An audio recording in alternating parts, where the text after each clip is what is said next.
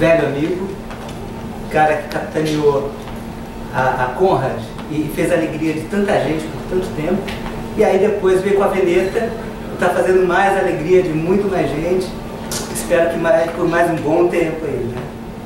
E o Petre, Petreca, que é, eu acho que já, já que cantei a bola para ele no, nos bastidores, né? Que primeira vez que vi um desenho dele, fiquei fã. Temos, temos quadrinhos dele aqui para vender? Tenho. Não, não, não, o quadrinho dele não saiu. Daqui a quatro dias. Entendeu? A gráfica está entregando na vereda. A gente não. não Mas a gente trouxe uns o, cartões. Isso, a gente tem um espaço vazio ali do Castilho, que deve estar explorando aí, tá? O Felipe. Castilho Daniel, tá chegando. Uhum. Tá? É, e mas a gente tem os cartões, os cartões com, com as imagens que são livres. É, o trabalho dele me impressionou pra caramba.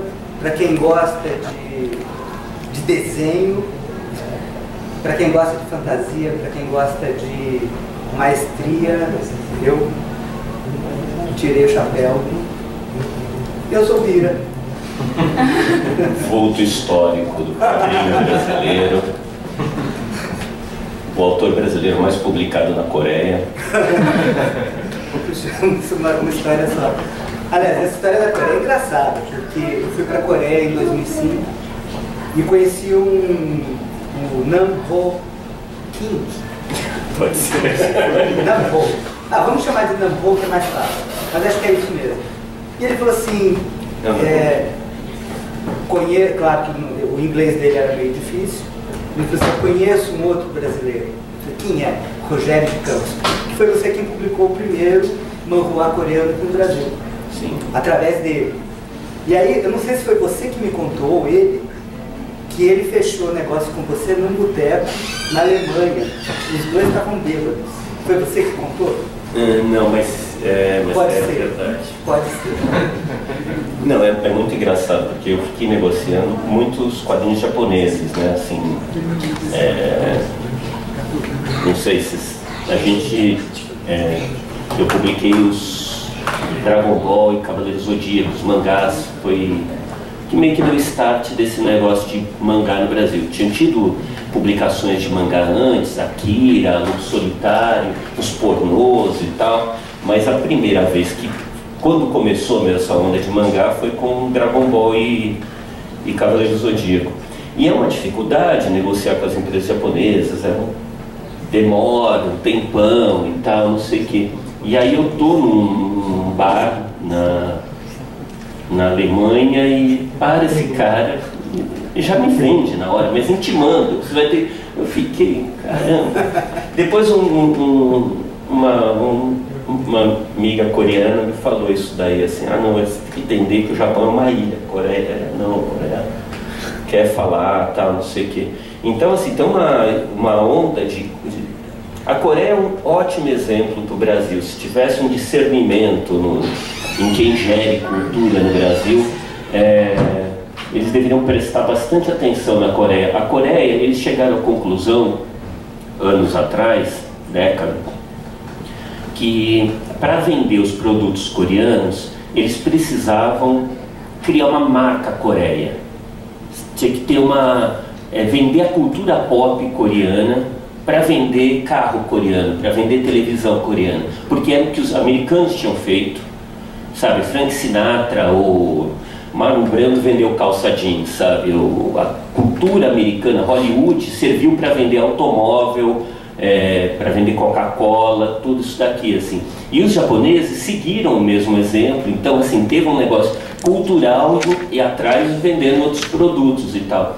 E os coreanos chegaram à conclusão, o governo coreano chegou à conclusão que tinha, que tinha que criar uma coisa dessa. E o que, que eles pensaram, pensaram, pensaram? E chegaram à conclusão que a base do negócio deveria ser quadrinhos. Porque a partir dos quadrinhos, um é seguindo o exemplo japonês, né? Assim, a, o- a indústria de quadrinhos japonesa que determina a indústria de cinema japonês.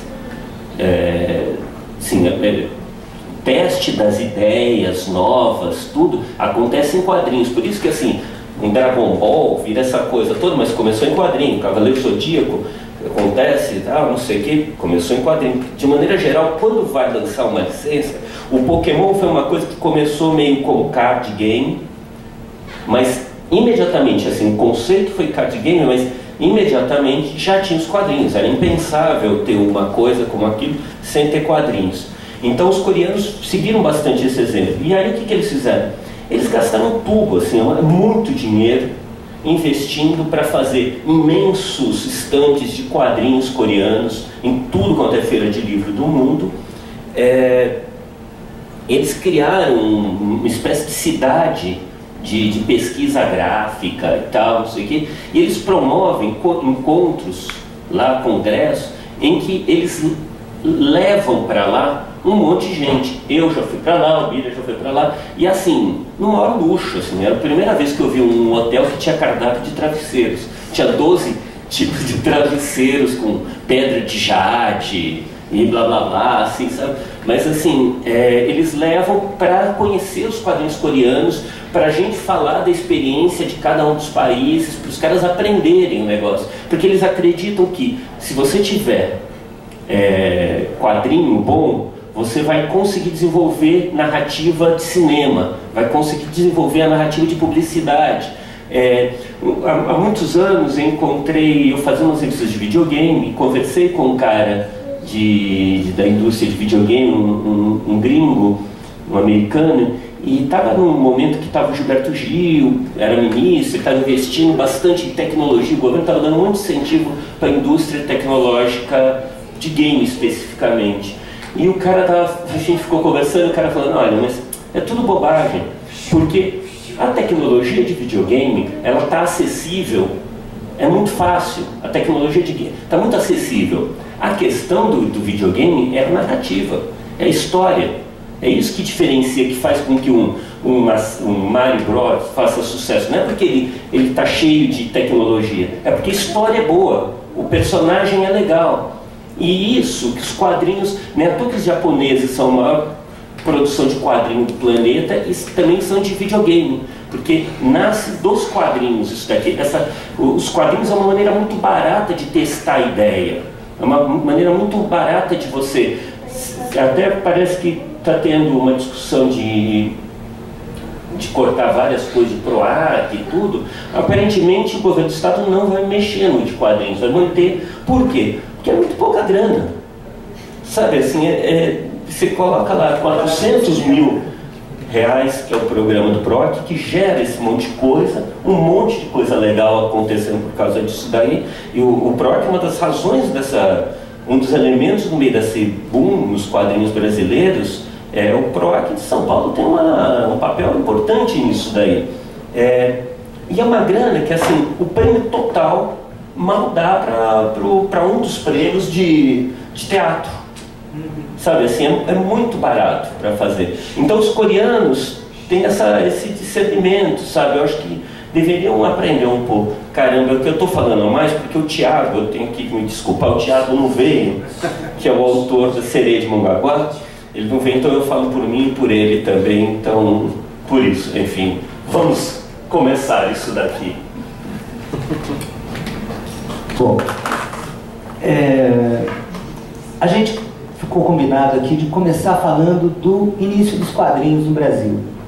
E aí eu queria contar para vocês que é, eu comprei o livro da autoria aqui do Rogério, Imageria, que conta as, todas as histórias dos quadrinhos de da Idade Média, de antes da Idade Média até hoje. E o meu mundo caiu porque eu achava que Angelo Agostini tinha sido o primeiro desenhista de quadrinhos do Brasil. Inclusive a gente tem um prêmio no dia 30 de janeiro, que é o Dia do Quadrinho Nacional, eu sou da AQC, que é a Associação dos Quadrinistas e Caricaturistas de São Paulo. Todo ano a gente faz uma festa para premiar os, os melhores né, do quadrinho e os mestres. E aí vem o livro do Rogério e joga isso por terra, porque antes do Angelo Agostini já tinha tido uma história em quadrinhos publicada aqui no Brasil. E é legal porque o, o bom, apesar disso a gente vai manter, né? Porque claro, é, é uma coisa dessa assim, né? O, o a AQC ela foi criada em 1984 por conta disso. Né? O, o, na época, Franco, Gualberto, Ofeliano no Rio de Janeiro, Ota e mais, eu acho que uns 20 quadrinistas no Brasil, estavam pesquisando quando teria sido feita a primeira história em quadrinhos. Infelizmente o Rogério ainda não estava com a pesquisa dele feita. Né? Isso foi uma tese, Rogério? Fala um pouco desse livro aí, peraí. Puxa vida, vou ficar aqui monopolizando. É, não, é, é, assim, o que teve foi que a gente está vivendo um momento especialmente fantástico dos quadrinhos brasileiros. Nunca na história desse país teve tanto quadrinho. É, já, os quadrinhos já venderam muito mais no Brasil. O Brasil já foi o segundo maior mercado da Marvel, da, da DC no planeta. Depois da, dos Estados Unidos, era o Brasil onde mais vendia gibi de super-herói no mundo.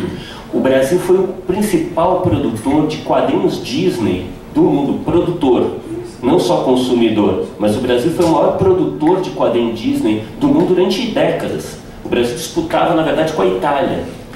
É, então, assim, o Brasil já vendeu muito quadrinho, é, mas eram quadrinhos gringos, quadrinho americano.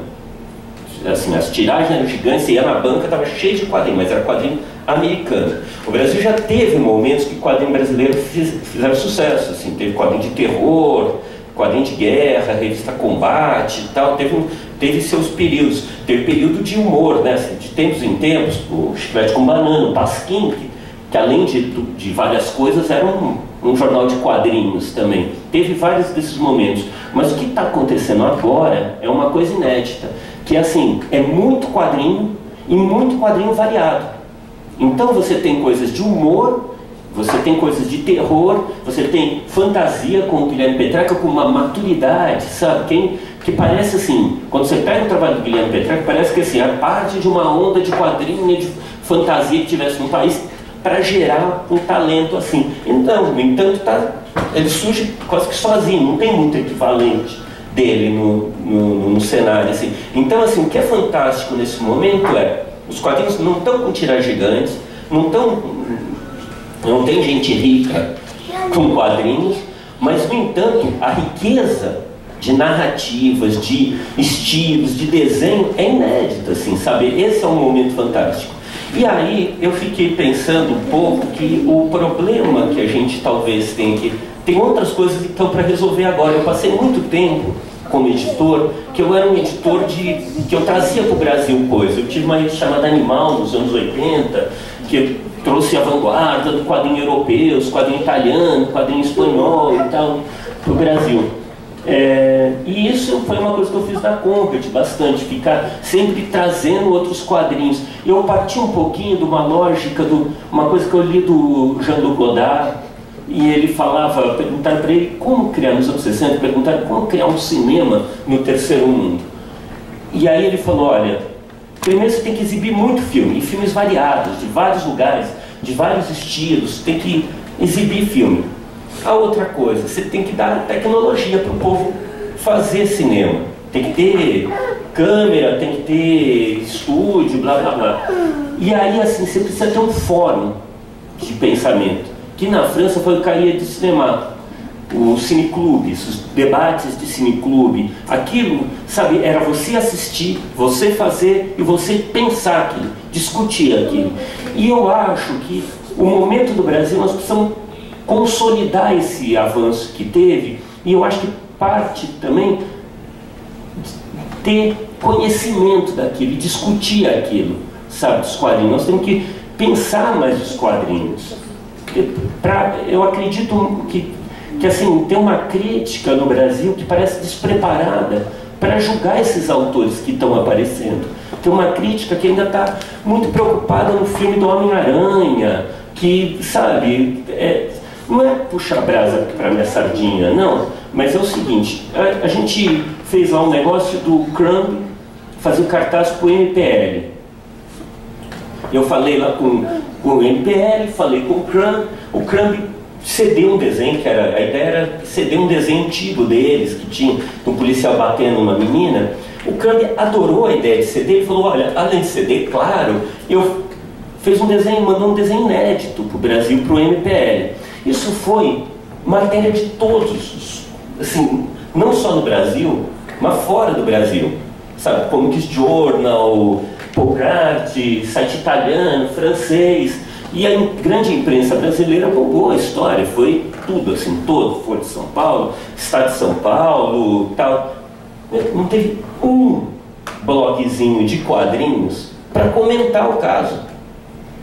Sim, sabe, no radar dos caras, não é falar bom ou mal, falar isso é legal, não é legal, mas sabe, assim, meu, teve um assunto quente do, de quadrinhos naquela semana, foi o, o, cara, o cara é o maior quadrinista vivo do Ocidente, sabe? É o cara mais importante, mais influente do quadrinho. Né? O cara faz um negócio, especialmente com o movimento de uns moleque, sabe? MPL é uma ideia muito bizarra, diferente que pensa do MPL, que pensa do Crumb, é, é uma história. No entanto, não foi registrado.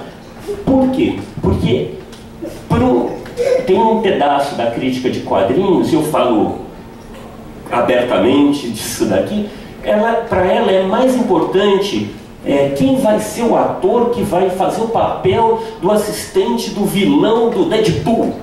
Sabe, assim, isso é manchete. Sabe, porque é um, é um povo fã de quadrinho de super-herói. Então não consegue, não está preparado para pensar esse quadrinho brasileiro. Simplesmente não entende. Não, né, assim, é mais ou menos como um cara de, de futebol para falar de música erudita, sabe? É um, não é nem alto nem baixo, mas é, é universos diferentes. Então, assim, a ideia do livro nasceu de precisamos ter base, sabe? E aí eu fui também, começou um pouco uma, isso daqui, uma boa intenção, e a picaretagem habitual minha, nesse negócio que eu pensei, meu, tem tanta coisa boa está tudo domínio público, como é que não é publicado isso? E aí eu comecei a juntar material. Inicialmente era para ser um livro pequeno, de umas 80 páginas, que eu iria reunir exemplos de história em quadrinho. Só que quando eu comecei a mexer, eu me toquei assim que não adianta você reproduzir uma folha de uma história em quadrinho. Porque tem vários livros sobre história dos quadrinhos que tem assim, a capa de um gibi, um desenho e tal. São livros ótimos e tudo. Mas história em quadrinhos são histórias. Se você vê um desenho do Topper, por exemplo, você não entende que é aquela, a, importância daquilo. Você percebe a importância daquilo quando você lê a história. Né? Então, aí eu decidi fazer diferente. Eu, eu publiquei inteiro o Topfer, por exemplo. Primeiro gibi, mais ou menos consenso hoje em dia do mundo. Primeira história em quadrinhos moderna é o Jabot. Então eu publiquei inteiro. Tem lá o, álbum inteiro dentro do livro. Eu publiquei um Gustavo Doré inteiro. O Roger, que é o outro candidato, então está lá inteiro. Então, assim, a ideia foi juntar aqueles, aquelas histórias em quadrinhos, aqueles autores que formataram as histórias em quadrinhos. Porque eu acho que isso é, é muito necessário para. Então, a parte meu blá blá blá no livro, o livro é ótimo, comprem ele, porque tem histórias ótimas lá. O livro vale pelos caras que estão lá dentro do livro, assim, são, são uma coisa. E tem isso, assim, é fantástico que ninguém tenha publicado essas coisas antes no Brasil. É, é quase um mistério para mim. Tem mesmo o Yellow Kid, que é o candidato dos americanos, a primeira história em quadrinhos de todos os tempos, que é de 1896, ele nunca foi publicado no Brasil. Nunca foi publicado. Sim, nenhum dos candidatos, tem três grandes candidatos à primeira história de todos os tempos, nenhuma foi publicada no Brasil. Agora foi. Agora foi. Então, assim, a ideia foi este, é um, é um livro que eu procurei apresentar todos eles na íntegra, aí eu faço um blá blá blá meu, lá falando de cada um deles, e, e aí tem a história inteira. E tem coisas assim, e, e assim, garanto para vocês, essas histórias são ótimas. Isso é o maior mistério. Se ainda fosse uma coisa que tem valor arqueológico, sabe? É, uma coisa para historiador, para acadêmico, que tem valor, mas, mas não dá para ler, mas não, são histórias divertidíssimas. Assim. O Toffler é certamente um dos maiores quadrinistas de todos os tempos. A história dele é das mais divertidas, é engraçado, é muito engraçado. O Doré é fantástico, as, as coisas que você fala assim, acha que o Spirit, que o Eisner inventou, o, o já estava fazendo isso em quadrinho. E ninguém, assim, quando eu falei, várias pessoas falaram, ué, o Doré fazia quadrinhos? Sim, fez vários álbuns é que na cabeça dos, teve uma coisa de americano, que é assim, o quadrinho começou nos Estados Unidos. Portanto, os quadrinhos que foram feitos antes do Yellow Kid, que foram feitos na Europa, eles não existem.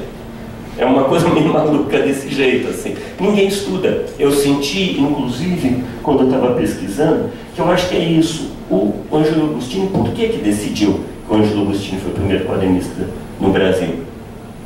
Porque, primeiro porque o Ângelo Agostini, mesmo não sendo o primeiro, ele é o mais importante Daquela época. do, do século XIX, o mais importante artista gráfico no Brasil do século XIX. Assim, é fantástico. E ele, sem dúvida, as histórias em quadrinho dele são as melhores feitas no período. Ele não foi o primeiro, mas ele foi o melhor. Tal. E a outra é. Só uma parte. Desculpa. Não, não, não precisa. É, a gente fala de Ângelo Agostini e fica assim meio abstrato, né? Quem é o Ângelo Agostini?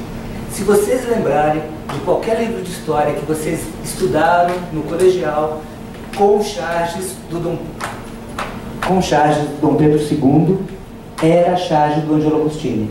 Se vocês acharem aquele livro guardado lá no baú, na casa da mãe, que você tem os livros do colegial, ou mesmo quem está estudando hoje, que ainda pega lá seu livro e tem é, pinturas de Pedro Américo, pinturas de, de Rugendas, e, e tem as charges do Dom Pedro II dormindo no trono e o, o- a coroa caindo, é do Ângelo Agostini. Então, o Ângelo Agostini, na época, ele era tão famoso que as pessoas até compravam só as caricaturas que ele fazia, com o jornal ou sem o jornal. Era uma, era um, assim, ele era muito famoso. E quando lançaram o Tico Tico, ele foi chargista do Tico Tico, que aí é uma, uma revista já da época do Rui Barbosa, né, que era citada no Congresso Brasileiro, e o pessoal falava, onde você viu isso? E o Rui Barbosa dizia, eu li no Tico Tico. E o Tico Tico era a revista que era das crianças, que tinha quadrinhos, era dos adultos, que tinha notícia, e era de brincadeira, porque tinha coisas para recortar. Então todo mundo lia o Tico Tico. E, e o Angelo Agostini fez o logotipo e fez as primeiras charges que foram publicadas lá. Posso fazer uma parte, rapidão? O pouco pode dar com a cadeira de chão, Ah, tá? Opa! Vergonha. Desculpa aí. Bem-vindo. Beleza. Pronto, falei. Não, só queria dizer que estou profundamente envergonhado por isso. Peraí, peraí, isso merece um, um som de Man with harmônica. E eu queria ter chegado antes, e eu de fato cheguei, mas eu não tinha almoçado, e aí eu não. Nossa, que bonito. E eu. A comer lá, enfim, o ônibus demorou um pouco mais do que eu pensava de São Paulo pra cá. Obrigado pela paciência, desculpa te interromper, Rogério. Um pouco.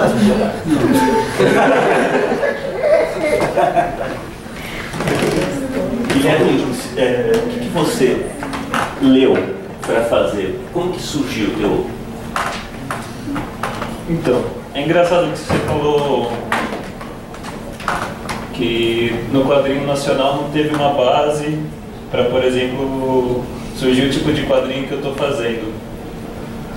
Mas eu acho que nenhum quadrinho que está sendo feito agora teve uma base para a gente chegar no nível que está. É, o Bulldogma do Wagner sci-fi, surrealista, pop, underground, não tem nada parecido.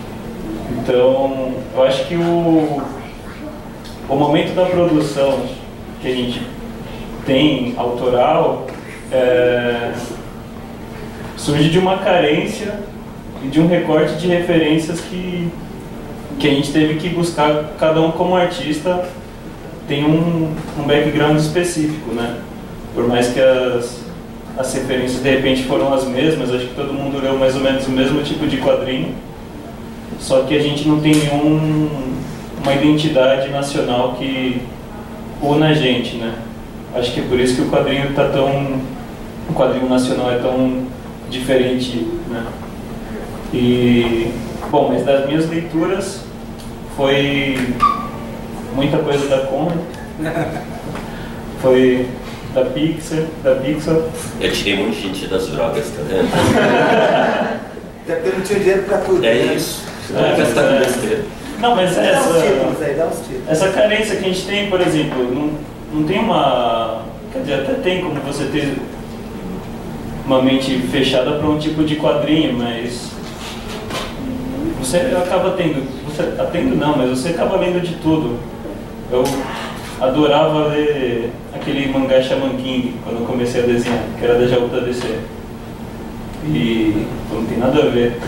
Mas no fundo tem um pouco a ver, né? Um misticismo que Você tinha que idade? tinha 12 anos. E. E Vagabond, o The Conking Hit, que foi pela, pela Conrad, Moebius, pra caramba. É, tem muita coisa de artista plástico também, né? De pirar muito em Clint, em Caravaggio. Então a referência é bem. Nossa, e Caravaggio É um pouco, né? Não, mas aí de Basquiat também é totalmente. Mas eu não sei, eu acho que Você pinta? eu pinto. Tela, Sim. mural. Sim, sim. E acho que é isso, cara. Pra mim, a formação é de uma carência, então a gente vai buscando, sabe? E vai formando através de catar uma coisa totalmente desconexa e a gente vai é, formando uma identidade, não só como artista, mas de referência também, né?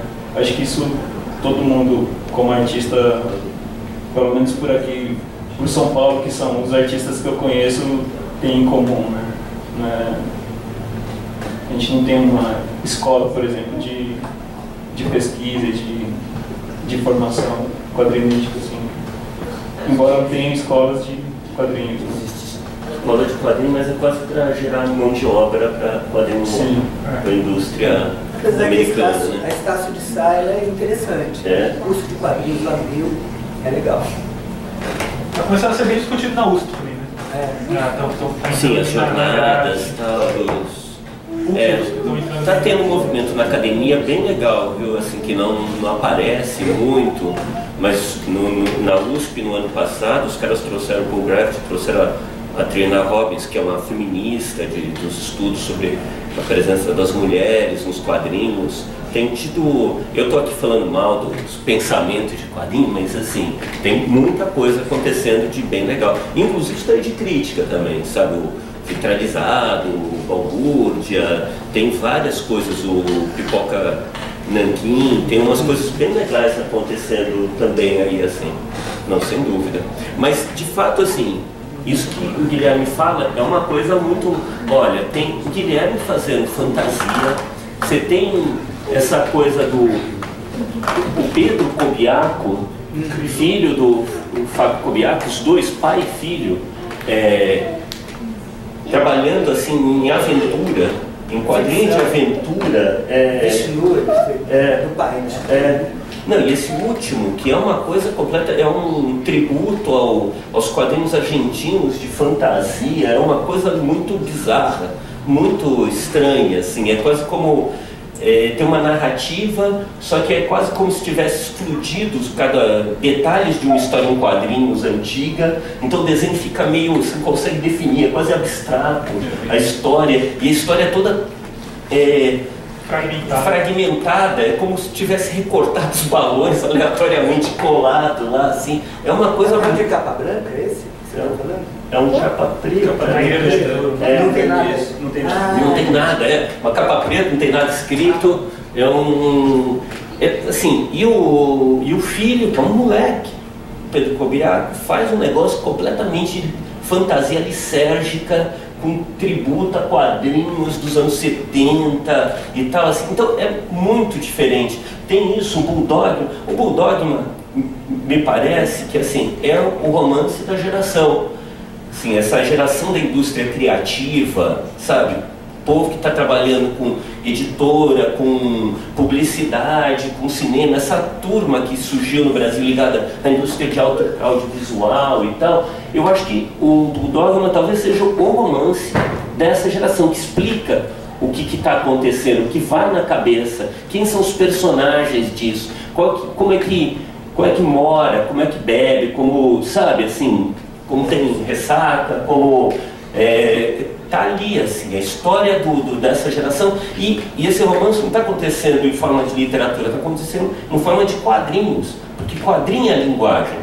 Quadrinho, nesse momento, é a linguagem desse negócio. Então, assim, é, só da gente, a gente vai agora, está lançando isso daí do Tiago, que é o Sereio de Mogaguá, que é uma história de uma mulher. Bom, tem um cara que faz, que lê o futuro nas suas tatuagens, as tatuagens ficam mudando. Aí tem uma mulher que procura a filha, que vai lá ver a mulher vai virar uma sereia. Enfim, é uma sereia, é, é, é uma mistura assim de Hunter Thompson com Cartoon Network, sabe? é, um, é uma coisa... É, e tem o Quintanilha, que ficou durante anos ali assim, batendo, fazendo seu quadrinho, seu quadrinho, e não tinha editora, sabe? Não tinha Quer dizer, eu estou publicando ele desde. Mas ele é eu e tal. E agora, assim, acabo de ganhar um Guleme. É o principal prêmio de quadrinho mundial. É, assim, tem o Eisner, que é o quadrinho americano. Agora, o Anguleme é o grande prêmio do quadrinho mundial, cara. Assim, eu estava lendo esses dias uma matéria de uma eh, francês e tal, e os caras falando, não, dos cinco maiores quadrinistas europeus do momento e colocava Quintanilha como quadrinista europeu, um dos cinco melhor, maiores, mais importantes quadrinistas do momento, assim, falando, não, Jacques que está desenvolvendo trabalho tal, não sei o que, e o Quintanilha no meio dele. Quer dizer, cara, é impressionante isso daqui que está acontecendo, assim, impressionante. É. Só adendo, minha filha está fazendo um intercâmbio na França, numa cidade do interior, que é Sans Saint-Salvi de Laval, que é longe de Paris e tal. Ela me mandou um WhatsApp assim, pai, tô lendo um quadrinho francês de um brasileiro, aqui na biblioteca da escola, uma escola de uma cidade do interior. É 50 mil habitantes. 50 mil habitantes é menos do que um bairro de Campinas. Aí eu falei, é mesmo? De quem que é? Ela falou, Marcelo Quintanilha. Eu falei, Marcelo Gaú, que era o antigo nome dele, né? Eu falei, Marcelo Gaú pô, que legal. E ela falou assim, é, tá aqui em francês e tal.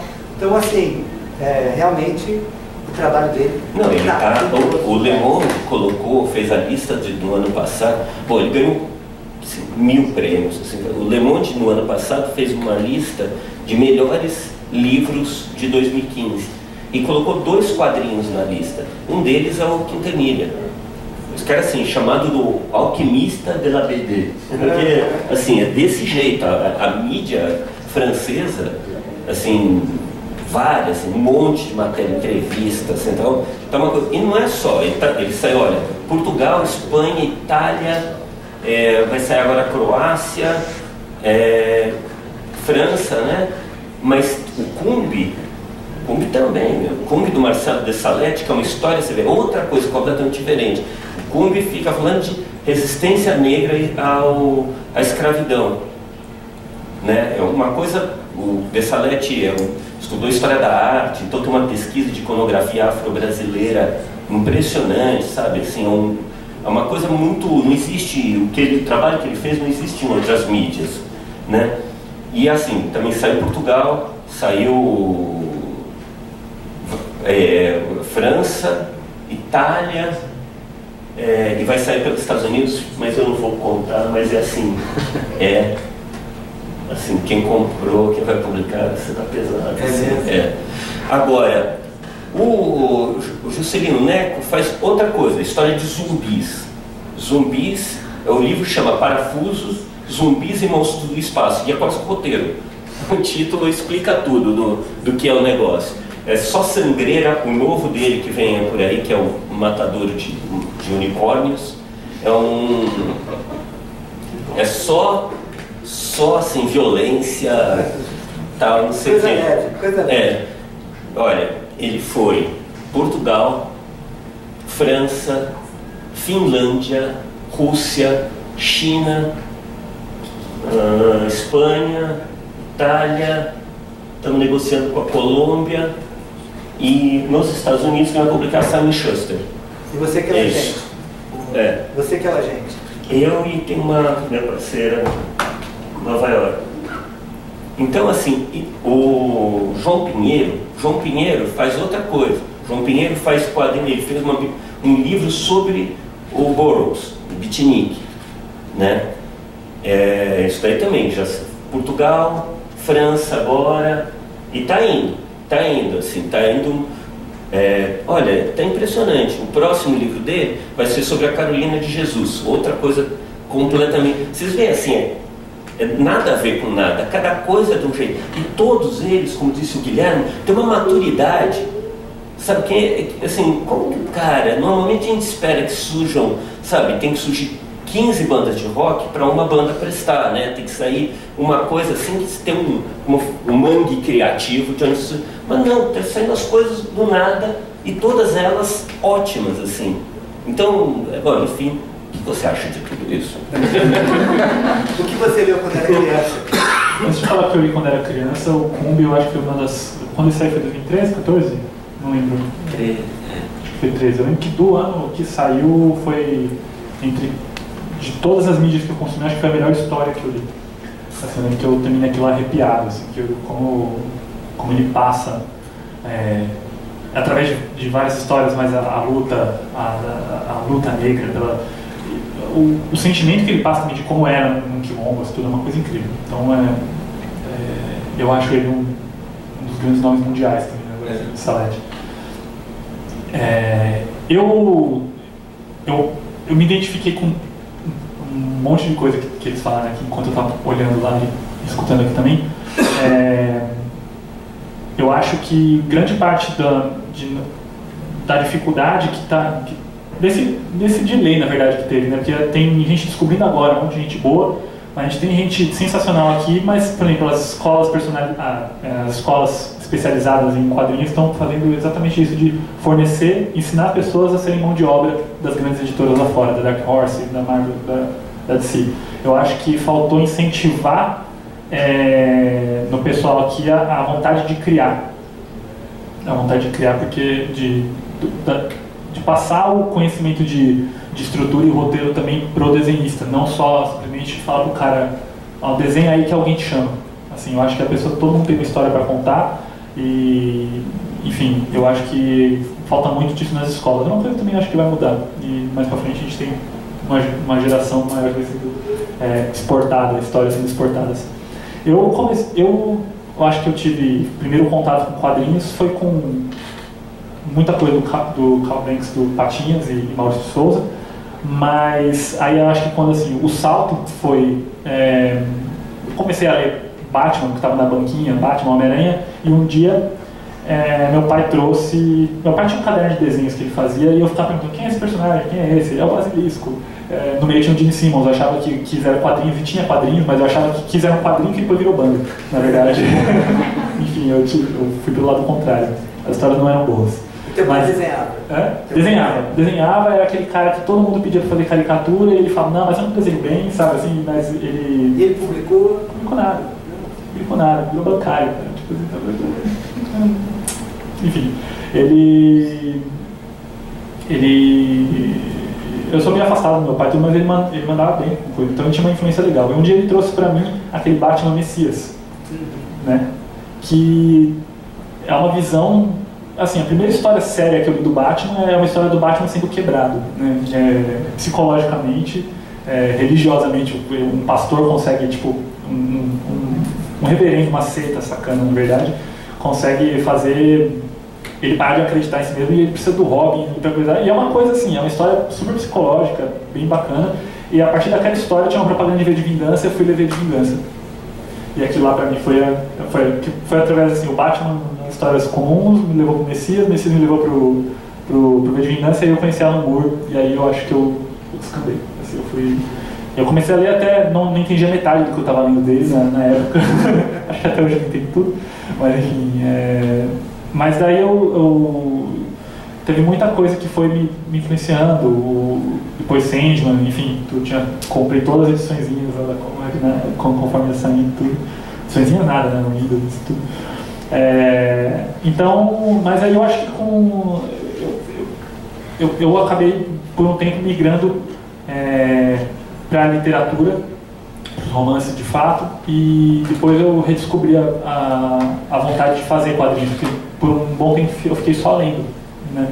Mas eu considero que foi a minha primeira entrevista de emprego da vida foi com Maurício de Souza, que ele uma vez me chamou para fazer um estágio e queria conhecer o que eu fazia. E eu era que nem meu pai, não acreditava que eu sabia desenhar. É, de fato eu não sabia, tá? Mas enfim, as histórias eram boas e eu tinha. E, e, ele falou assim, pô, por que você não foca? Né? Ele não falou pô, porque ele não fala pô. Mas ele falou, você devia focar nas histórias, escreve alguma coisa pra mim. Ele pedia, faz uma coisa de cebolinha, é pivete, 12 para 13 anos e tal. E eu mandava e sempre com ele, assim, mas desenha do jeito que você sabe. Eu falava, nossa, isso tá um lixo. E, e aí, com o tempo, eu acho que eu, é, ele foi o primeiro a, a assim, não, você não precisa desenhar, você pode só escrever. Né? Você pode, e aí, então, eu comecei já, acho que desde cedo, prestar atenção no, no que o roteirista faz. Que ano? 97, 98? É, acho que foi. É, 97. Foi 97. Que foi uma surpresa que minha mãe fez, na real. Eu queria conhecer. 20 anos depois de ser preso pela primeira vez. 20 anos depois de eu fazer estágio no Maurício. Olha só. É, uh, bacana. Tudo tipo se fecha. Eu preso. Eu não fui preso, eu tô tentando. Mas vamos lá. É, o, mas ali foi, foi muito interessante que assim, foi- aquele passeio normal para conhecer o estúdio, né? Ah, eu tava sempre querendo ir, minha mãe falou, não, vai lá tal. Eu fui com meu irmão, que é, também hoje tá. Ele sempre escreveu muito bem, mas tá mandando mais um roteiro agora. É, e quando eu cheguei lá, falava, você que é o Felipe, espera que ele quer, o Maurício quer conversar com você. Aí, aquela cara cabeçudo, né? Era, mais. E aí, tipo, Você já era alto. já, não sei, acho que para 12, pra 12 anos, sim. E aí, e era aniversário dele no dia. E ele chamou pra. Não, primeiro vamos comer um bolo, tal, tal. Ele levou lá, mostrou o estúdio inteiro pra mim, depois foi conversar comigo e ele me tratou de igual para igual, assim, sabe? Então é uma coisa que marcou. que Eu falo assim, não é a primeira entrevista, mas pra, eu considero que foi a minha primeira entrevista. Ele foi a primeira pessoa que conversou comigo, me orientou. Falou: ó, você tem que focar nisso. Eu fiz uma história de cebolinha de Halloween, lá, enfim. Então. E eu acho, aí com o tempo eu fui, eu, eu passei a escrever é, mais contos e sempre muito influenciado por ficção científica. Mas eu, é, a mesma coisa que me levou a gostar de, de Asimov, Arthur C. Clarke, também era a mesma coisa que fez procurar Moebius, o Enki Bilal e coisa do tipo, o Tardio. Então, é, eu, eu lembro que a ficção científica me levou a, a querer escrever é, narrativas curtas, eu comecei a ir atrás de cursos de narrativa do tipo, e, e às vezes algum, alguns quadrinhos me levavam a conhecer livros, e livros me levavam a conhecer quadrinhos, sabe? Então, é, eu conheci coisas do, do Kerouac por causa dos quad- dos quadrinhos, do, das adaptações, sabe? Então, a geração Beat, tudo ela veio pra mim através de, de, um, de, um- de uma tirinha sobre Burroughs, assim, que eu não lembro quem fez. E, eu me interessei. Então, é, as coisas são muito conectadas, assim, pra mim. É, quando eu falo de, de, de romance e quadrinhos, acho igual. Hoje eu, eu, eu tenho mais coisa publicada no mercado com romance, né? Com o público juvenil. É, eu acho que eu sou. eu- e isso não, não significa que isso seja bom nem nada, mas eu escrevo muito e faço muito roteiro institucional, mas eu escrevo muito é, como ghostwriter, né? Mas se eu não falar para quem eu escrevo ainda assim, ghostwriter. É, mas eu estou dando foco agora para começar a fazer meus roteiros autorais também. Quer dizer, eu já tenho alguns também poucos no mercado, Imagina Zumbis na Copa, tudo. Mas o, tem alguns já sei esse ano pelo selo do SESI, que agora está fazendo parceria com a Quanta tudo. Então, é, eu, eu tô meio que voltando às raízes, assim, né? Eu tô, eu tô fazendo mais roteiro do que escrevendo agora, né? Então, mas eu acho que eu, eu sou bastante influenciado por isso tudo. Tipo, meu primeiro romance juvenil, a, primeira, a epígrafe do começo logo é do Prometeu, Alan Moore, assim, sabe? Então... Qual que é o seu nome fantasma? Hã? Seu Não, como Ghost eu não apareço mesmo. Eu escrevo para pessoas que você pensa que escrevem, assim. Tipo o Paulo Coelho, Você mentira. O Paulo Coelho escreve ele mesmo. Isso é bem legal, porque ele inclui as minhas falhas dele, assim, também. Não, mas são as pessoas que querem parecer perfeitinhas, assim, sabe? Mas o... É, Sidney Sheldon? Sidney Sheldon ainda não. Eu vou chegar lá, ele paga bem. Nora Roberts e Sheldon eles pagam bem. Mas, é, enfim, o, é, eu, acho que eu sempre tento misturar muito, trazer influência da literatura para quadrinhos e trazer quadrinhos para. E, e assim, tudo são, são linguagens distintas, mas eu acho que não, é, não- nenhuma deve nada para outra, sabe? Então, é, por isso que é difícil falar de começo de quadrinho para mim, porque para mim é tudo misturado, sabe? O que eu, as coisas que eu li primeiro, as coisas que eu, que eu, que eu passei a gostar. Mas eu acho que é isso. E você estava falando também do Bulldog, mas eu também acho, eu acho o Wagner agora uma das coisas mais diferentes, porque ele tem um estilo único, né? Assim, ele tem um. Aquela coisa, as pessoas acham que fazer a narrativa é, quando ela vai, ela fala assim, eu vou focar no que importa para a história para ser enxuta. E quando alguém diz o contrário, se eu mostrar justamente o que, o que deixa o, quadrinho humano, que é a pessoa tirando a cueca dentro da calça, sabe, cutucando o nariz, alguma coisa do tipo, são cenas, são, são requadros muito, muito humanos, assim, sabe? E você pode falar do que for, até de, de, de alienígenas e tudo, que continua sendo uma coisa crível. Você acredita naquilo lá. Quando você está lendo aquela, uh, aquela história, ela é a, a maior verdade que existe ali na sua frente, sabe? Então, acho que isso faz do Wagner também um grandes dados Porque parece que eles retratam pela primeira vez, né? Não, não, é uma coisa assim, sabe? Tem esse quadrinho industrial americano que é aquela coisa de.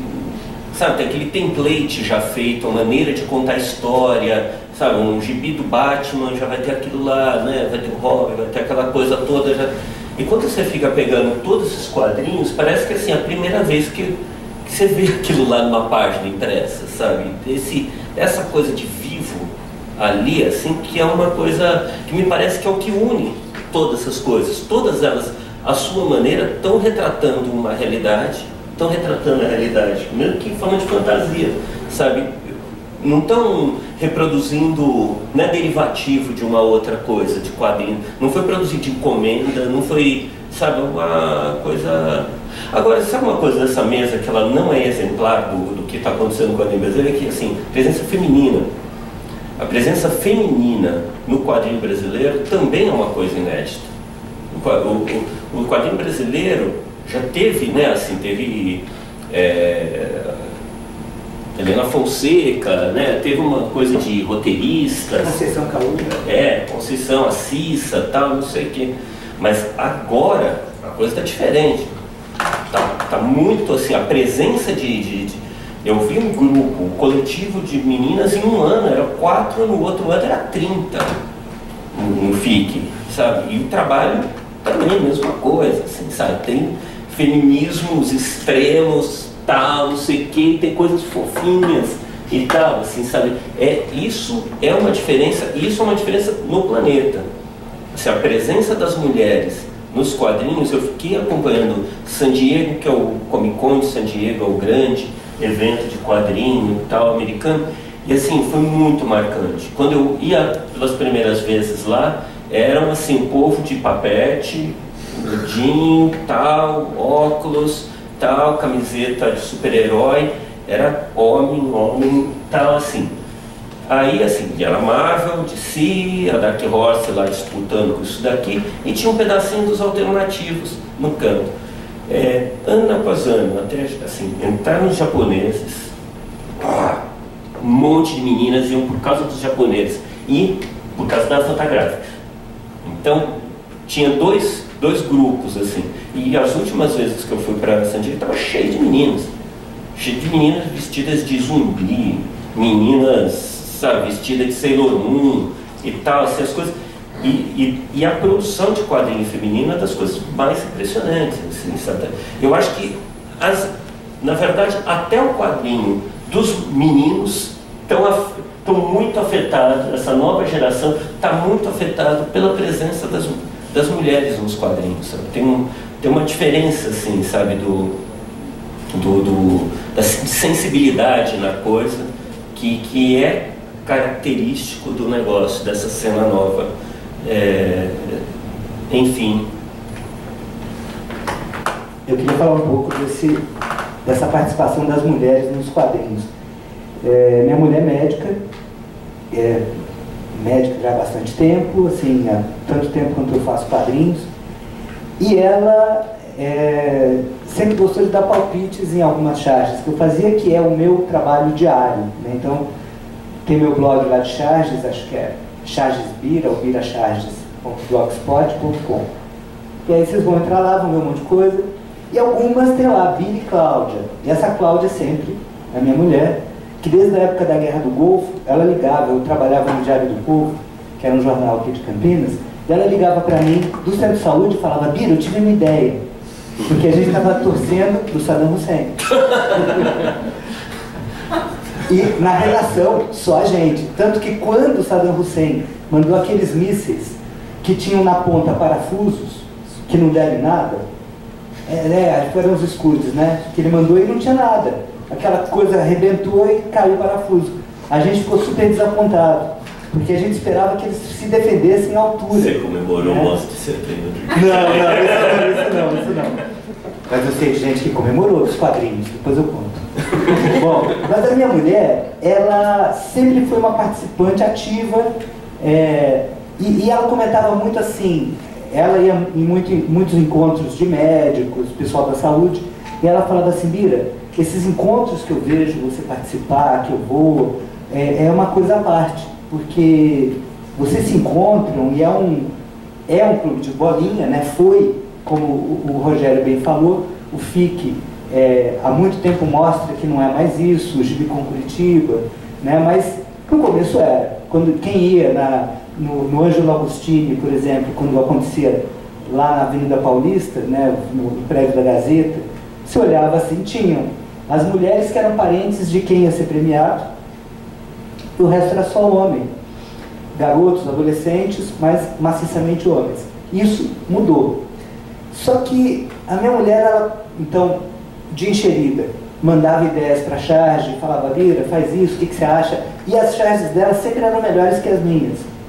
Porque eu acho que é uma característica, não sei, vamos ver aqui com o Guilherme o que, que ele acha disso, mas é uma característica do homem. O homem é muito objetivo. Então assim, eu tenho até as 5 horas para fazer uma charge.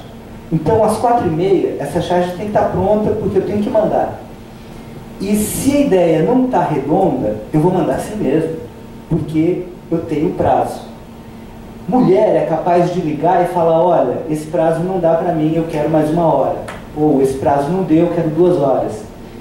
E, bom, eu nunca fui assim. Então, muitas vezes a, a, minha mulher dava uma ideia, eu desenhava, ela olhava e falava, não foi isso que eu te falei. Muda esse texto, o texto não era esse. Eu assim, qual era o texto? Agora eu não lembro. Ela falou, você tem que anotar na hora. E ela começou a fazer roteiro de quadrinhos. E ela fez algumas, eu trouxe até aqui, esse, essa caixa aqui é um baú, depois eu vou abrir aqui para vocês olharem. Tem coisas muito raras, tem assim, gibi dos Trabalhões que eu desenhei, da Block, que aliás é uma coisa que ela sempre me enche o saco, que quando eu vou me apresentar, eu falo, bom, eu comecei desenhando gibi dos Trapalhões para a Block Editores, que era feita pelo estúdio de Barbosa. Ela fala, Bira, você sempre tem que falar isso. Mas é que eu comecei lá, né? Foi meu primeiro quadrinho publicado, e publicado em banca, que é, diferente de hoje, né? A gente, naquela época, você publicar em banca, era você estar do lado do Maurício de Souza, do lado do Ziraldo, porque a turma do Pereira estava na banca, né? isso antes da chiclete com banana, estou falando aí dos anos, final dos anos 70, né? gibis de terror. Então, era grande, o grande lance você estar tá na banca. Tanto que quando eu comecei a fazer os quadrinhos para a escala educacional, que eram adaptações de literatura, a minha primeira decepção foi essa. Eu fiz o primeiro, foi o Memórias de um Sargento de Milícias, com a Índigo e o Maurílio DNA, aqui em Campinas, que fez a cor. Exatamente no meu álbum, ele deixou de ser vendido em banca. Todos os outros que o Vilachan tinha feito, né, o Vilachan e o, o Jô, o Jô Fevereiro, que é o antigo Josmar, né? Não conheceu? Josmar, que era da Interquadrinhos. É, e, e, aí ele começou a assinar Jô Fevereiro, todos saíram em banca e eu dava aula na Pandora, escola aqui de Campinas. Então eu falava para os alunos, compra quadrinho nacional, tem aí ó, é, é, e o Jô. E aí no meu, quando eu me chamaram para o projeto, já não estava mais em banca, foi vendido diretamente para as escolas. E, mas o meu sonho era ter uma revista, um gibi, em banca. Que para mim era o lugar onde eu ia comprar gibi. Sempre foi. E, mas aí voltando. Bom, minha mulher. Homens são. É. A gente só fala da gente. É. Revista Tralha. Revista Tralha foi um projeto bem bacana que eu fiz com o Marcati, Lourenço Mutarelli e Márcio Baraldi, que teve o, ainda textos do Glauco Matoso e do Alberto. Essa revista Tralha teve dois números, saiu em 88, Foi quando eu estava mudando para Campinas. E o, a minha mulher fez o roteiro, ela que não lia quadrinhos. E o roteiro dela era muito legal. Eu lembro que eu mostrei para o Keeper, na época, porque depois eu entrei na Fronte, que eu trouxe também algumas revistas Fronte aqui para vocês verem. Eu lembro que o Keeper, ele pegou uma história que eu tinha feito com ela e ele falou, Bira, o roteiro está excelente, mas o desenho você podia... Eu falei, é, ele falou, parabéns. Eu falei, não, o roteiro é da minha mulher, não é meu. Então isso acho que é uma coisa que é, é, exemplifica o que o Rogério falou. As mulheres, a gente sempre pensava assim, por que, não tem mulher fazendo quadrinhos? E isso eu estou falando década de 70. Né? Então, ele citou aqui a Helena, é. que era roteirista. A Maria Conceição. A, a Conceição Caú. Não, e a, e a, a Maria Conceição, que imagina, era mulher e negra e fazia quadrinhos de terror. Era um dos principais roteiristas de quadrinhos de terror, daqueles gibis de terror que tinham nos anos 60. Era uma mulher negra. Sabe assim, imagina o, o que, que era se virar no meio daquele ambiente ali ultra, né, assim, machista tal, assim. É, eu acho que nem tanto machista, assim, eu pelo menos nunca vivi nenhuma situação machista na época é, do estúdio Você é homem.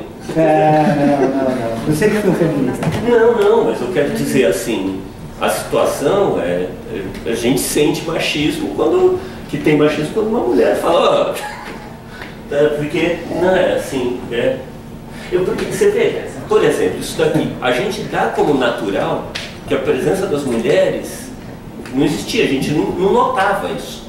Não era uma coisa que notava. A gente nota agora, porque agora tem.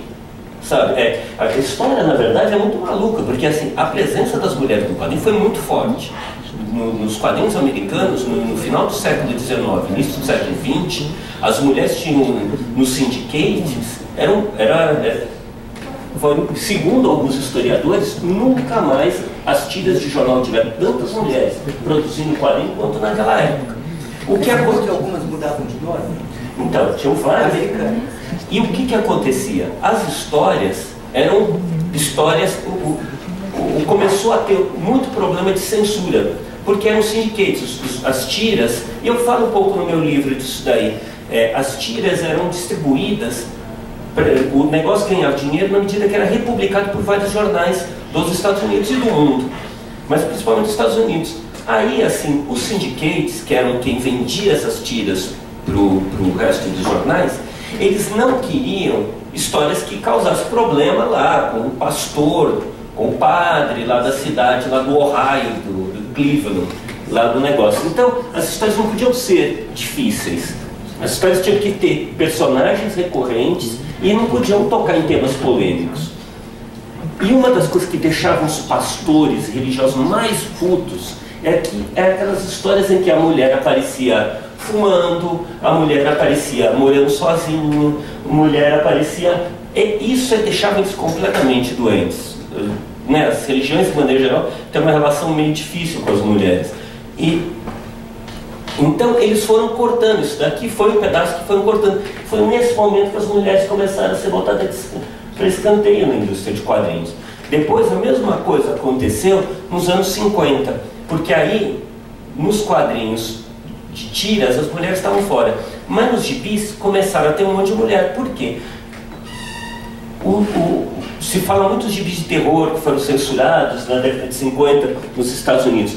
Mas, na verdade, se você pega o Comics Code, que foi o código de censura dos quadrinhos, a maior parte dos itens se refere a comportamento. É não falar de adultério, não ter beijo que não fosse entre pessoas casadas, não podia dormir na mesma cama, é, várias, eram várias coisas desse jeito. Não, isso nem pensar, nem pensar. Tinham várias regras desse negócio, assim. Por quê? Porque eles queriam pegar os gibis femininos. Era o gibi de romance metade do público de gibi nos Estados Unidos, no, na, segundo uma pesquisa que eu vi de, de 53, alguma coisa assim, metade do público de quadrinho de gibis nos Estados Unidos eram mulheres. E era um quadrinho romance, quadrinhos de romance. Os, aí, os padres, pastores, censores, esses, odiavam aquilo. Odiavam tanto aquilo quanto o gibi dos comunistas que faziam terror. Então acabou esses gibis. As mulheres foram botadas para fora. Tinham várias quadrinistas que foram botadas para fora do, do mercado por causa disso daí. Ficou gibi de super-herói.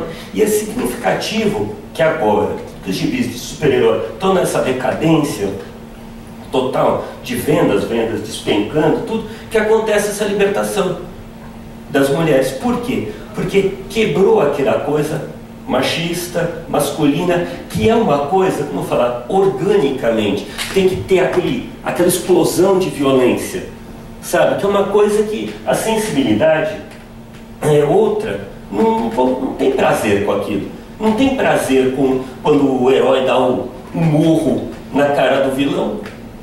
Sabe, não sente. A gente, nós hominhos, a gente tem lá, sabe, bem ou mal, a gente ainda fica achando legal. Mas essa explosão de, essa catarse, sabe, essa coisa assim, não pega esse público. Isso forçou os quadrinhos serem mais inteligentes.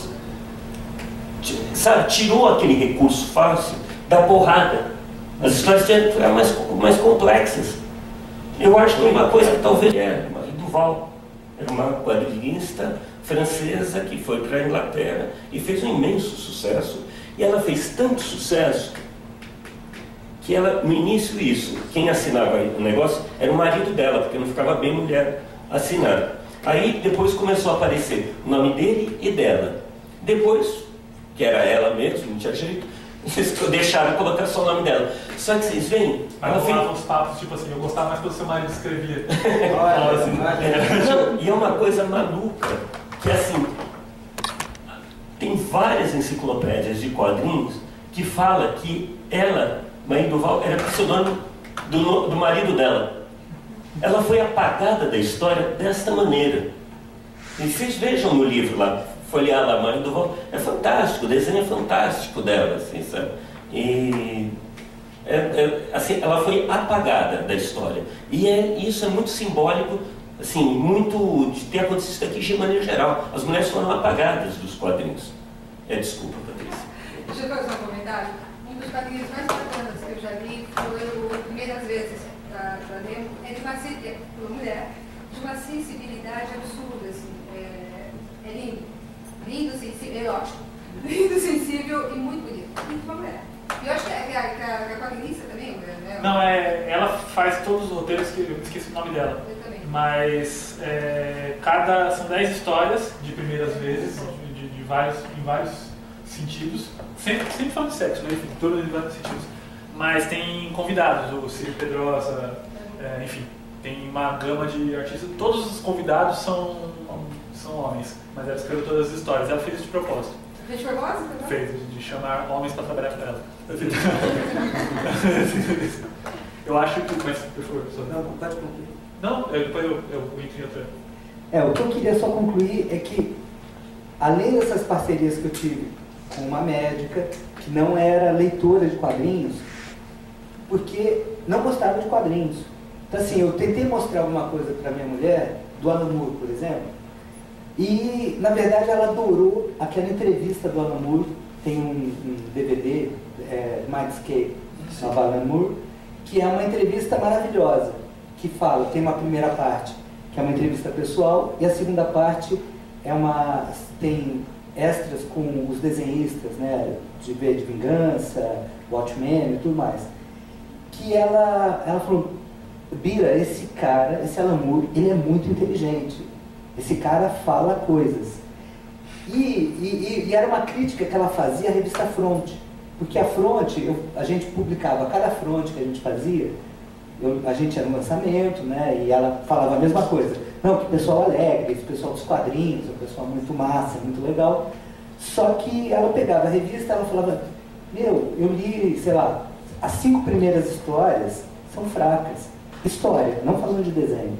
E eu falava para ela assim, que nos anos, anos 80, uma coisa que a gente ouvia muito era os desenhistas brasileiros são bons, mas os roteiristas são fracos. Era uma coisa que a gente ouvia muito.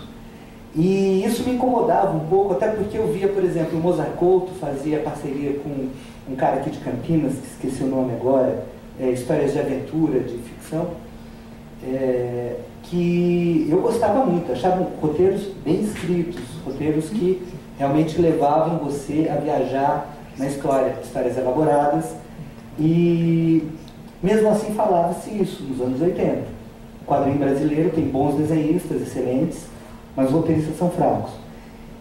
E na fronte a Cláudia me falava exatamente isso. Ela falava assim, olha, eu gostei, sei lá, ela, tinha alguns roteiristas que ela curtia. Então ela falava, quando chegou na metade da fronte, eu já estava desistindo de ler, eu me animei. E aí fiz, aí gostei da sua história, ela falava. Acho que ela está me puxando para está querendo alguma coisa. Mas ela realmente falava isso. Ela falava assim, os roteiros, na média, são fracos. Ela falou assim, e, e a revista é muito bem impressa, é muito bem editada. Ela falou, amador. Ela falou, se eu fosse editora, eu mandava mudar muita coisa aqui para publicar, ia demorar para publicar. Só que a fonte era, tinha uma outra relação, porque era uma revista, não sei aqui se alguém conhece, se alguém já leu, revista Fronte, um, aqui, sim. Então, a Fronte era uma experiência online que foi criada pelo Keeper, que era um ilustrador da Folha de São Paulo, foi morar em Portugal. E quando ele foi morar em Portugal, ele criou duas coisas. A lista da Fronte, que aí ele negociou na época com a editora Via Letra, que era do, do JP Martins, e ele criou a Fronte, que era uma revista é, virtual de quadrinhos. Na ideia dele, ele queria fazer quadrinhos revolucionários, filosóficos revolucionários. Ele que, queria fazer quadrinhos que mexessem com a cabeça do leitor. E o Kipper é um cara que é fantástico, tem um trabalho maravilhoso, inclusive Proac do ano passado lançou um álbum dele e tem agora um para sair também. O Kipper, ele, não contente só com a fronte, ele criou a Imago Days, que era uma lista de cartunistas, isso aí foi um, um e-group do Yahoo é, nos anos 90, junto com a fronte também que era, e Imago Days juntava tudo, ilustrador, cartunista, chargista, quadrinista. A fronte não, era só do álbum, e a ideia era que o álbum fosse discutido por todo mundo, do roteiro, a arte final, aos textos que iam entrar e a ideia era que fosse um quadrinho realmente cabeça e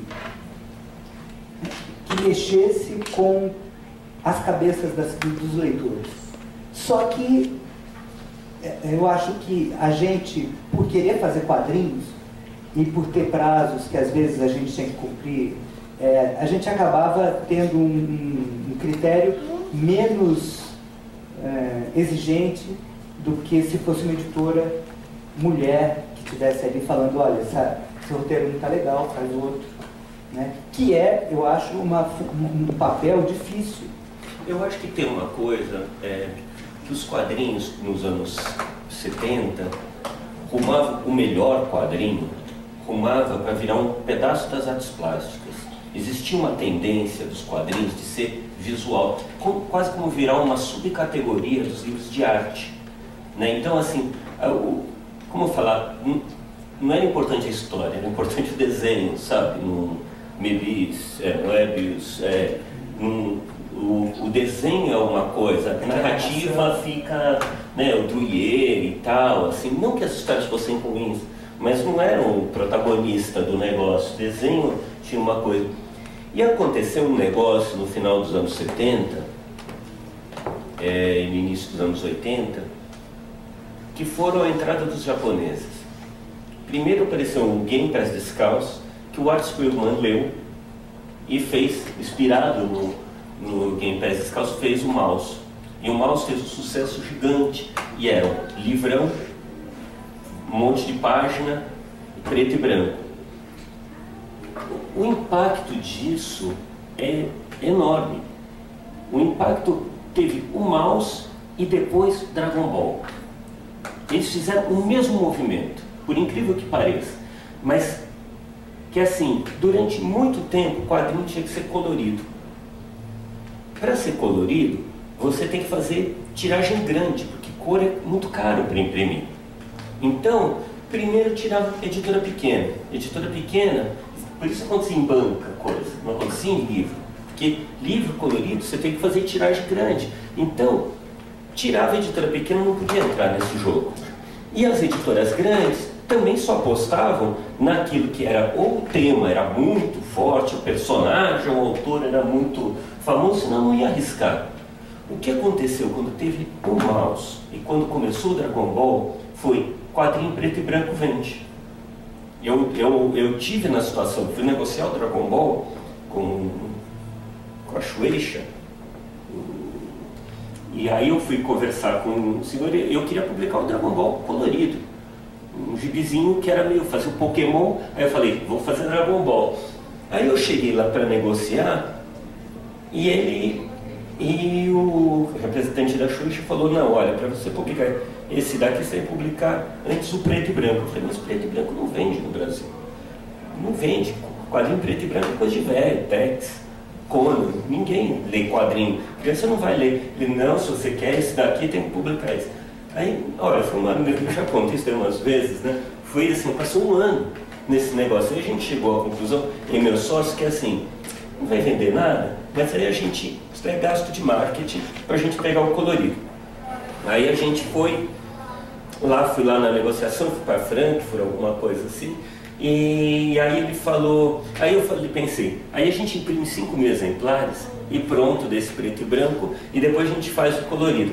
Aí ele só uma coisa, acabou de chegar minha parceira de quadrinhos. Ah, ele falou bem mal de você. Verdade. Segurança. É, e aí ele, ele chegou e falou, e aí eu falei, tudo bem, publico, tudo, aí ele falou, mas mais uma coisa, tem que ser como no Japão. Aí eu falei, como no Japão?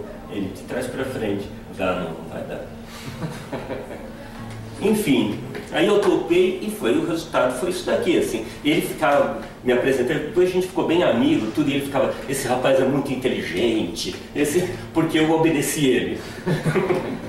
Mas enfim, é, não tinha. E aí quando teve publicar preto e branco, isso abriu as portas para edições independentes, abriu para editoras pequenas. Isso porque a livraria passou a acreditar que livro preto e branco vendia. Porque antes a livraria não pegaria aquilo, um gibi preto e branco. A crítica passou a prestar atenção por causa do mouse. Então, essa, o Crumb estava lá nessa toada há muito tempo, é o pai de todos. Mas assim, o mouse e o Dragon Ball foram um fenômeno que provocou essa explosão de quadrinhos franceses, esse monte, de livro começou. E o que acontece? Saíram mais páginas, formato livro, isso fez com que as histórias ficassem avançam, sabe? Mais profundas. Dá para contar mais coisa, ter mais complexidade do que antes, que era um gibi de 48 páginas, que tinha que terminar lá mesmo. Então, assim, um gibi de super-herói tem que ter lá, ah, tem a cena inicial que é na academia do Xavier, então tem lá que a, o Colossus quase vai matar Kit Pride por acidente, aí depois eles ficam naquela crise, aquela angústia, aí tem um vilão que já está observando de longe aquilo lá e preparando para entrar, não sei o quê, aí tem uma grande batalha e pronto. É isso, número após número daquele negócio, variações, tudo, mas é basicamente isso daqui que acontece, porque é isso que pode acontecer no gibi de, de 48 páginas, que tem que ter cena de violência de qualquer maneira, tem que ter uma angústia adolescente de qualquer maneira, e é isso que, que dá. De qualquer maneira, é, tem que acontecer em 48 páginas, todo, todo mundo. Com 120 páginas, 200, ou o Dogma, que tem 300 e tanto, as histórias ficaram outra coisa. Então, assim, isso também faz parte desse. Tem uma questão industrial que libertou os quadrinhos e a narrativa dos quadrinhos. Escusa. Ó, o, Rogério, o Rogério falou dos anos 70 que os quadrinhos fletaram com as artes e que cuidaram mais da forma do que conteúdo. Eu queria saber o que, que o Guilherme, que falou aqui, citou Caravaggio e citou Clint, o que, que ele tem a falar sobre isso? Pro bem ou pro mal? Não, acho que tem muito lance de falarem dos anos 90 dos quadrinhos, né? Que foi a pior época possível, porque era, era isso, era um quadrinho bonito, entre aspas, também, porque é bonito pra quem, né? Mas. exemplos aí. Ah, tipo. Você me compreende, né? o, ah, o Spawn, o X-Men, né? Savage Dragon. Putz, Ah, era, era um negócio feito assim, totalmente É. visual, um policial verdão com uma barbatana na cabeça, gigantesco, bem desenhado. desenhado. Era Eric Larson. Mas é tipo dois quadros por página, assim, né? tipo, para correr logo a história. Um card. Então, mas isso, mas isso é super-herói, né? Que o, o- Rogério citou os quadrinhos é, de arte, né? Quadrinhos franceses e tal. Não, ele, como ele falou da, da pior época dos quadrinhos, Tá, é por causa é. dessas coisas que se tornou Entendi, pior época. entendi. Não, E tanto que bastante quadrinista Foi a que eu depois. parei de comprar gibi de super-herói. Ah, um monte de gente tem isso. É, mas tem bastante Agora quadrinista né, que depois foi para artes plásticas. O Ashley Wood, o Kent Williams, que já flertavam muito com experimentação artística nos quadrinhos, né? E também são os quadrinhos Você são gosta, de, lindos. você gosta de moedas? De Moebius eu gosto de algumas coisas, porque também o roteiro me enche o saco. Então, pra mim, acho que o. Você está fazendo a coleção da Nemo? Eu tô de alguns, cara, porque também alguns São pesados. do Moebius. Eu acho O mundo de Helena é muito O bom. mundo de Helena, é- então, e é uma das, quando ele começou a se reconciliar com as cores também, assim, né? Sim. Porque lá, o Ah, e tanto lá- que uma, uma das citações do Moebius é que ele queria se desprender do virtuosismo, né? Que ele cita que ele queria seguir a linha do, do Hergé, do Tintin, da linha clara. E depois ele fala que ele acha que ele falhou miseravelmente. Que ele ainda se apegou Falha muito legal, ao, né? Ao virtuosismo. Então deixa eu perguntar, vocês gostaram do Surfista Prateado? Eu não li, É, cara. Eu não li Não porque li. eu não, não me pego. Em, em matéria de desenho eu esperava mais. Ah, mas... Você, O agente pediu pra ser algo rápido, né, você nem Eu parei, eu gosto do. Eu gosto do Batman da seriado de TV. Super-herói. E o Feira da Fruta? O Batman, Feira da Fruta. que o Eduardo Ferigato fez. É, um, é uma redublagem estilo Hermes e Renato. Ah, sim? Foi Era quase já- Ele veio em quadrinhos. É, Só que não foi publicado porque tem direitos autorais. ignorante. Mas ele É. continua na arte e os quadrinhos. Eu, eu acho que tem que ter um um peso, né? É, por exemplo, o, o Sandman. Eu não, eu comecei a ler, mas eu não, eu não dei sequência na leitura porque eu não tive saco para arte. E todo mundo fala que o incrível do do Sandman é o roteiro, mas por ter uma arte muito ruim no começo, pra mim eu não não me pegou. E também outros quadrinhos que tem uma arte incrível, como o próprio Moebius, tem muita coisa dele que eu, eu leio 10 páginas e putz, depois eu só vejo a questão da narrativa porque o roteiro também me enche o saco, sabe? O, o próprio Kent Williams, ele fez um, um do Wolverine, que é lindo, mas é um saco a história. Não, é Wolverine, é Wolverine ou algum outro cara. Eu esqueci. Ah, é um nome japonês. Não, Não é o Wolverine Deathblow não. com a... Ele é um. Puta, acho que tem um lance de comunismo. Não, não tem comunismo. É... Ele e um outro cara que tem uns poderes telepáticos, acho. Eu não, puta, eu não vou saber, mas é meio que no Novo México, assim, tem um Ah, é, é o, é o. Wolverine com o Ciclope. Também não, cara. É um, ou eu tô errando, mas. Tá. Enfim, é uma arte incrível, experimental. E o é... roteiro, o que, você achou? Ah, um saco, cara. eu lembro porque assim, eu li ele O quando eu tinha umas tequilas. pra- Putz, se tivesse teria ficado bom, eu acho. Porque eu li quando eu tinha uns 15 anos, é uma minissérie em quatro edições. E aí eu tinha só os três primeiros números. E aí, puta, adorava aquela história, eu queria ver o quarto e eu fui comprar o último, há tipo uns dois anos atrás. Aí eu, puta, finalmente achei, agora eu vou reler com aquele tesão, hein, cara. Não, não rolou. É, tem uma. Acho que tem um, um, um público-alvo bem específico, não que quem leia, um adulto que leia, é, esteja errado, ou seja uma leitura menor. problemas, né? Oi? Isso só tem problema. Não, quem sou eu, mas é, é por- não pega, sabe? Então pra mim é isso, não adianta ter uma arte excelente, um roteiro horrível e nem um roteiro excelente, uma arte horrível, porque Uhum. mesmo o Alan Moore eu não tenho muito saco para ler, porque o, o desenho, muito Tem uma coisa de pega. quadrinho, tem muito de uma coisa de quadrinho americano, parece de storyboard, né? Parece que o, o desenho é só, parece um storyboard, parece que ele não tem existência própria, né? Assim, de ser quadrinhos mesmo, parece que é uma coisa preparando para virar um filme, uma hora, para virar uma outra coisa, assim, Tem né? storyboard, né? Porque storyboard ainda tem a preocupação de angulação e movimento e às vezes é um negócio tão duro assim que É, não pega. ele tem coisas com desenhos muito ruins, né? Não vai. Eu acho que tem uma outra coisa também que explica essa situação atual, que é a questão de política. A gente falou do, do Moebius e tal. O Moebius faz parte de uma cena, ele participou do Maio de 68.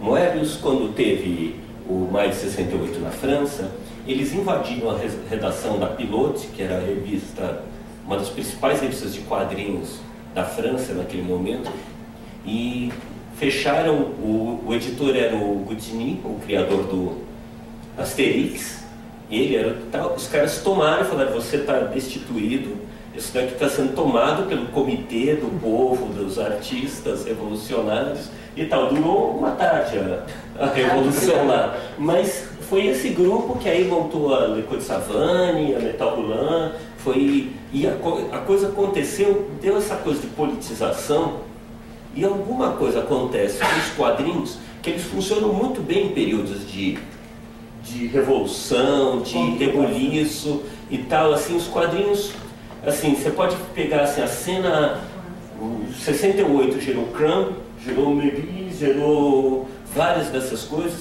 O- os quadrinhos eh, japoneses, a Garo, teve né? é, é, então, são caras de, de, sabe, em geral isso daqui, assim, ah, na Espanha, quando caiu Franco, aquele momento do final do franquismo gerou a La Cúpula, que é, a, é o Víbora, que é a coisa, mas um monte de coisa, o Bernet, assim, tem um desabrochar dos quadrinhos. O Brasil mesmo, o final da ditadura, gerou toda aquela exposição assim de, de chiclete com banana, a própria animal. A Argentina é a mesma coisa, com a Fierro e tal. A Itália, toda aquela cena italiana que aconteceu do, do- da Frigidaire, do Rancherix, tudo. Cara, aqueles lá começou como um fanzine de Bolonha, porque era onde acontecia as, eh, o quebra-pau dos estudantes. É, tá tudo assim muito ligado com isso, assim, desses períodos de vir o mundo de ponta cabeça e a coisa, os quadrinhos têm um negócio assim. Eu acho que assim, é, o que esteja acontecendo agora é porque a gente também está vivendo um momento meio todas as coisas se desmanchando, sabe? A alta cultura se desmancha porque até porque os governos não dão dinheiro para cultura mais, então vem abaixo tudo, assim, então é, eu acho que tem a ver também com essa situação é, política, sabe? Gás lacrimogêneo faz bem para os quadrinhos. Acho que faz toda a arte. Oi? É, a arte. sim. É bom, o impacto é sempre, sempre bom ter um choque, né? Não. Em São Paulo chega de tropa de choque também, já tá tendo muito. também. Não é. Não esse tipo de choque, mas enfim. Eu, É. tenho uma pergunta para fazer. Oba! É, por que que na escola não são adotados os quadrinhos? Assim, sabe, como, como uma série, como nas aulas de literatura, como quebrar isso? Como levar isso ao colégio, sabe? Como adoção, como parte da, do currículo? Acho que isso até, acho que todo mundo vai ter um pouco a falar sobre isso, assim, até porque eu acho que o que está rolando agora é uma. a- as escolas estão. é, quem está começando agora a ser, por exemplo, o coordenador de, de. um coordenador de curso que vai indicar os livros, estão chegando pessoas de cabeça mais aberta, que veem o quadrinho como uma arte voltada para si mesma, ou seja, ela não é quadrinhos não é só adaptação de romance, o quadrinhos não é só é, uma diversão boba, porque as pessoas pensam em quadrinhos sempre no, no, no- no, que está aí, os quadrinhos de heróis que vão de mal a pior, no- enfim, em, em qualquer coisa, mas as pessoas não pensam no Art Spiegelman da vida, não, não, não lembram do, do Liniers, não lembram, enfim. É, agora, as pessoas que estão chegando para cuidar de cursos, os professores que estão entrando, que têm poder de mudar isso, são pessoas que cresceram já vendo quadrinhos como uma arte diferencial. Então, eu acho que isso está começando agora a mudar. Tem obras originais sendo, não, não só adaptação do Dom Casmurro, adaptação que era interessante também, eu acho que é uma forma de, de, de pedagogia você colocar algo ilustrado para fazer um, um, jovem ler um, um, clássico, né? Mas tem muita história que está, por exemplo, Berga Bianca Pinheiro está sendo adotada nas escolas. Sabe? Então é uma, é uma história que faz referência à, à cultura pop, ela é, ela é plenamente Uh, e ela até é um pouco fora do exemplo, ela é, é por entretenimento, é como se fosse um Adventure Time lá, volta, transformado em quadrinhos, sabe, na, na, na, narrativa de quadrinhos. E, mas os professores veem que ali tem alguma coisa que pode é, aflorar o gosto pela leitura. Inclusive porque é, é para os mais novos, inclusive, é mais fácil até você fazer eles pegarem gosto com quadrinhos do que com, do que com o livro. Então eles estão equilibrando. Né? Nos bimestres trabalham, trabalham na graphic novel, isso já para sétimo ano para cima, então, enfim. É, tem, tem, tem histórias, aí já falando, o, o tema anterior que a gente estava falando das mulheres nos quadrinhos e também falando agora da política nos quadrinhos e a sua pergunta, misturando tudo isso. É, tem muita gente se interessando por, por quadrinhos é, que falam sobre a, a cena política atual para levar para a escola, que nem a Intrínseca Nosso Árabe do Futuro. É interessante ver uma editora que nem a Intrínseca apostando, é, significa que a coisa está boa. Né? Não é só a gente que se arrisca tipo, a, a ir atrás, tipo, de uma editora é, de grande porte investindo também, mas eles vão só também onde o galo é, canta certeiro, né? eles, não, eles não, não, não, assumem o risco. Mas, por exemplo, tem a, o Mundo de Aisha, é, o Muro. O, o, Mundo de Aisha fala muito com a atualidade, o, tem outro, tem outro que eu falar já, que já não é uma mulher roteirizando ou desenhando, mas é o Metamorfose Iraniana, que fala muito da cena atual no, no Oriente Médio. Então ele tem. E as escolas estão se interessando por esses, por esses quadrinhos também, assim, por essas graphic novels, tudo. Então é, eu acho que, que as coisas estão mudando a, a forma de, de, de serem enxergues. E, e, essa coisa também da.